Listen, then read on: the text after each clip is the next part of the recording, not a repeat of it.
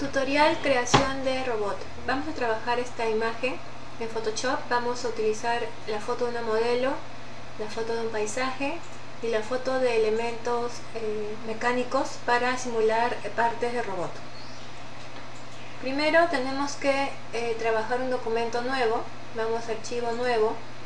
Vamos a trabajar en una A4 a 300 píxeles de resolución el modo de color lo vamos a dejar en RGB, luego lo vamos a reemplazar por CMYK, que es el modo de impresión. El contenido de fondo le vamos a poner con eh, color blanco. Si no visualizan el tamaño A4, pongan aquí en predefinir papel internacional para que puedan visualizar el tamaño A4. En nombre vamos a poner robot.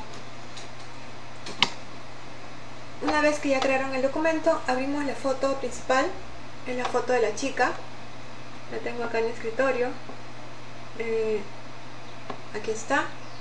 Le abrimos y nos va a abrir otra pestaña. No hay problema. Vamos a primero calar la imagen. Para esto necesito aclararla. Entonces acá tengo eh, niveles para ajustar eh, la intensidad de luz de la imagen. Y en capas voy trabajando el trazado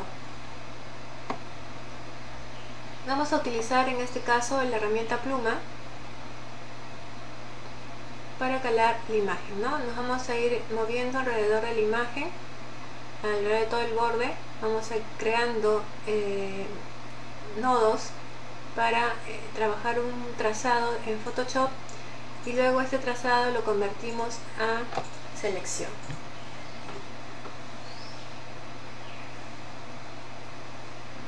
Acuérdense que con AL pueden regresar para ajustar la, curva del trazado y corregir el trayecto.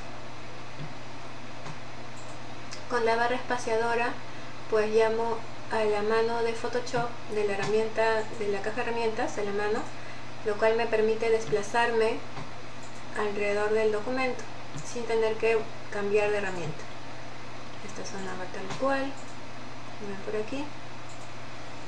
Y continúo trabajando el, el, contorneo de la silueta. En esta parte la vamos a tener que inventar un poco porque casi no se ve nada. Está. Ok, una vez que ya hicimos la selección tenemos eh, la opción a cargarlo como selección presionando control enter hicimos el trazado, ahora es una selección. También tenemos esa eh, opción desde el panel de trazados, ¿no? Desde el panel de trazados, si quiero convertir este, este trazado que he dibujado en selección, arrastro hacia el tercer icono. Es lo mismo. Eh, yo recomiendo que guarden el trazado para más adelante, de repente lo necesiten, ahí está. Cosa que si hacen otro trazado ya no se pierde ese que han guardado. Ok, una vez que ya hicimos la selección, vamos a, eh, enmascarar esto, ¿no? Soltamos con Alt, doble clic en el fondo para que sea una capa normal y hacemos justamente eh, la máscara acá en trazados, deseleccionamos para que no se vea. Ok, entonces acá nos falta esta zona de acá, calar, ¿no? Entonces aquí voy a utilizar de nuevo la pluma. Como ven se ha creado otro trazado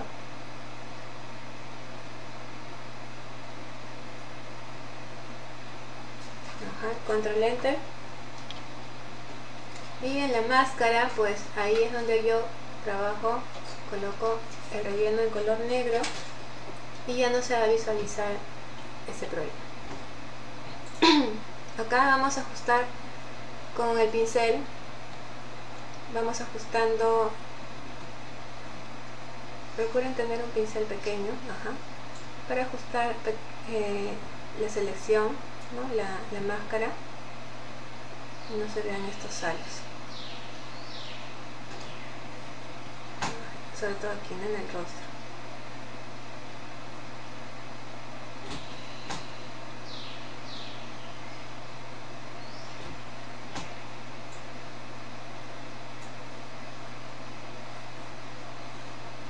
Vamos a quitarle la dureza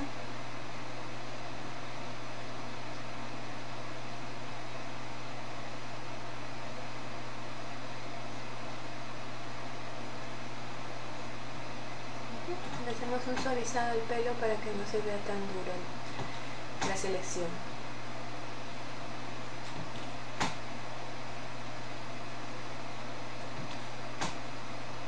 Muy se entonces ahora sí podemos continuar.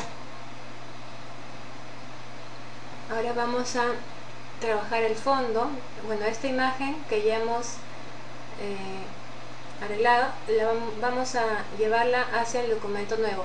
Nótese que la capa de ajuste de niveles no, tiene, está eh, recortada hacia la forma de la, de la capa 0, ¿no? que le vamos a poner el nombre de chica. Entonces vamos a recortarla para que solo afecte a la chica, no afecte todo el documento. Le damos clic derecho, crear máscara de recorte, entonces ya se está ajustando como una máscara y estos dos estarían vinculados. ¿no? Entonces con Shift selecciono ambos y le voy a dar clic en, en la cadenita para que ambos se vinculen y cuando yo mueva uno también se va a mover el otro acá está la chica. Vamos a ampliarla con control T con shift.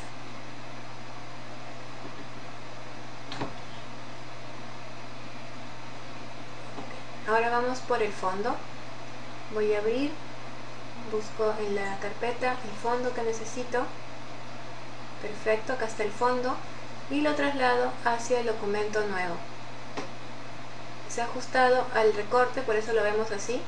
Lo soltamos, clic derecho, soltar máscara de recorte, ahora ya lo vemos completo. Y esta capa que es el fondo, ¿no? le vamos a poner capa paisaje, la vamos a colocar detrás de chica, o sea debajo. Y vamos a ajustar el tamaño, ¿no? Para que se vea uniforme listo.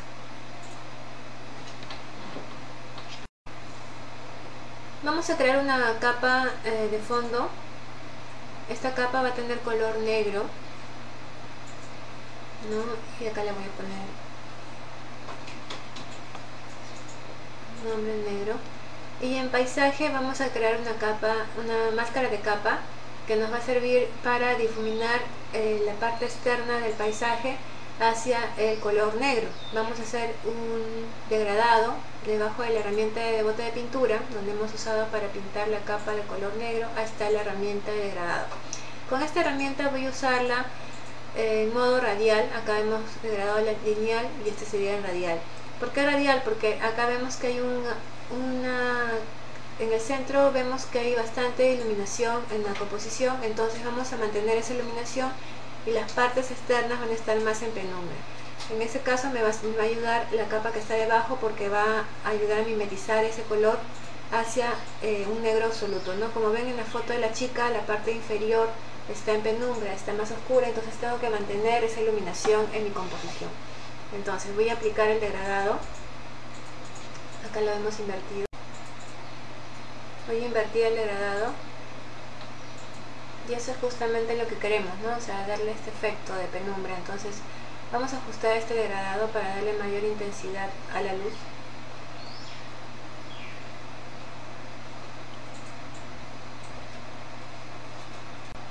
Creamos una capa nueva encima de niveles. Esta capa que va a estar encima de todas va a contener un degradado. El degradado que voy a hacer es un degradado de, este estilo. Por ejemplo, tiene dos colores oscuros a los lados, dos colores negro y acá en el centro el color blanco. Este degradé me va a servir para hacer un efecto de luz que va desde arriba, de la parte superior izquierda, hacia el centro, de, eh, que cae justo en la cara de la chica, ¿no? hacia el centro de la composición. Entonces vamos a ajustar en curvas en la presentación de este degradado voy a ir hasta la entrada 66 para contrastar bastante y voy a hacer esta forma ¿no? que tenga este, este tipo de entrada en el, en, la, en, el cuadro de histograma de umbral para que tenga partes como que en oscuro y partes en contraste en blanco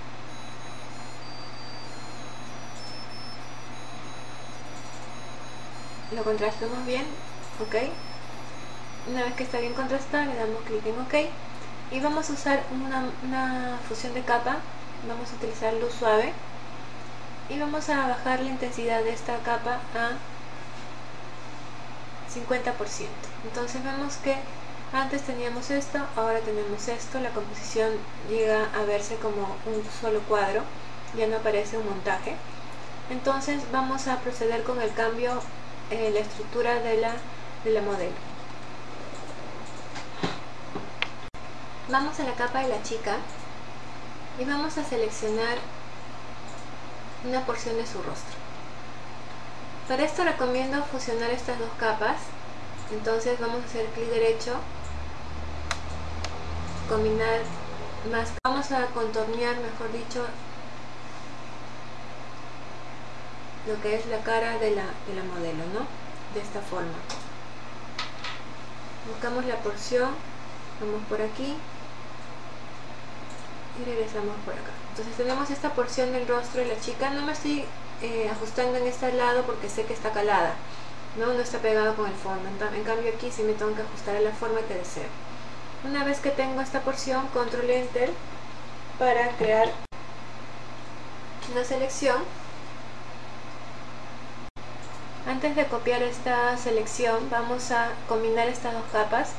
Entonces clic derecho en la, en la capa vamos a poner aplicar máscara de capa. Entonces esto se vuelve una, una capa simple sin máscara. Entonces ya está calada con respecto a la máscara que teníamos antes. Yo les recomiendo que tengan aparte el archivo guardado con la, con la máscara para cualquier problema que tengan puedan reemplazarlo este, esta capa ya que está combinado con control J tenemos eh, la porción del rostro ¿no? acá está. No la vemos porque obviamente está la capa chica de abajo pero si yo oculto capa chica pues veo el rostro que acabo de calar. Ahí está el rostro. Entonces en esta capa yo le voy a poner rostro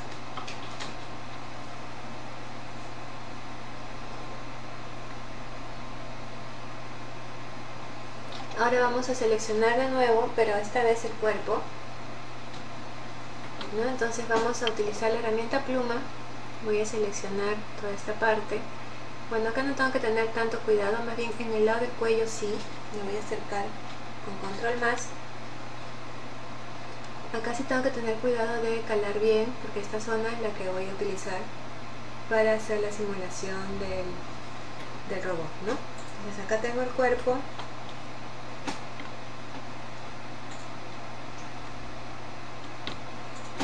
una vez que tenemos el cuerpo control enter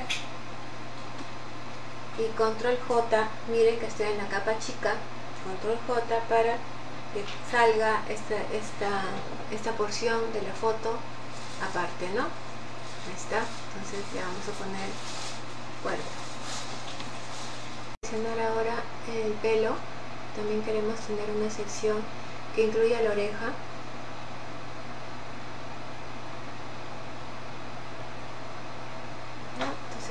enter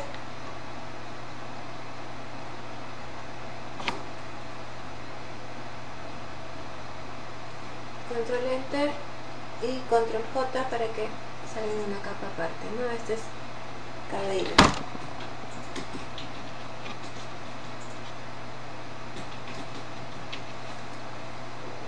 La capa chica la voy a duplicar.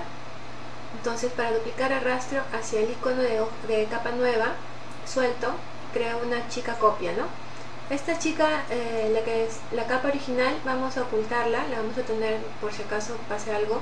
Y chica copia, voy a trabajar en esta capa utilizando la herramienta de subexponer. Esta herramienta lo que hace es oscurecer.